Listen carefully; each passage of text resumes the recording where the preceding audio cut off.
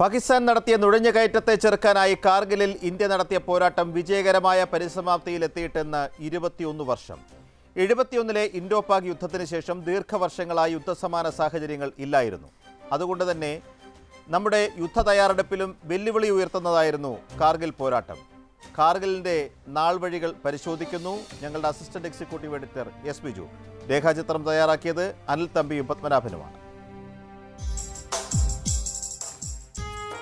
അതിർത്തി കാക്കുന്നത് സൈന്യമാണെങ്കിലും മഞ്ഞുമലയെ ആഴത്തിലറിയുന്നത് പഹാടികളും ബക്കർവാലുകളുമൊക്കെയാണ് കൂട്ടം തെറ്റിയ കാലിയെ തിരയുന്ന ബട്ടാലിക്കിനടുത്തെ താഷി എന്ന ഇടയന്റെ ജാഗ്രതയാണ് കാർഗിലിലെ നുഴഞ്ഞുകയറ്റക്കാരെ കണ്ടെത്തിയത്. താഷിയുടെ വാക്ക് കേട്ട സൈന്യം അതിരുമായുന്ന മലനിരകൾ തെരഞ്ഞു തുടങ്ങി.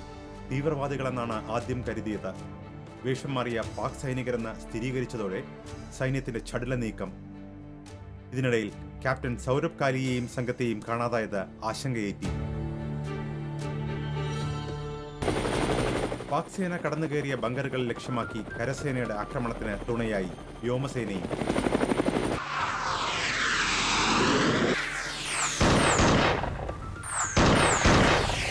തകർന്നു വീണ മിഗ് വിമാന പൈലറ്റിനെ പാകിസ്ഥാൻ യുദ്ധ തടവുകാരനാക്കിയതോടെ സംഘർഷം പെരുകി.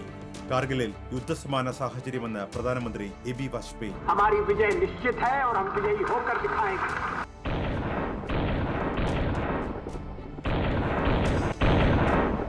പാകിസ്ഥാൻ കൈമാറിയ ക്യാപ്റ്റൻ സൗരഭ് കാലിയയുടെയും അഞ്ച് സഹസൈനികരുടെയും മൃതദേഹങ്ങൾ ഇന്ത്യക്കാരെ ഞെട്ടിച്ചു.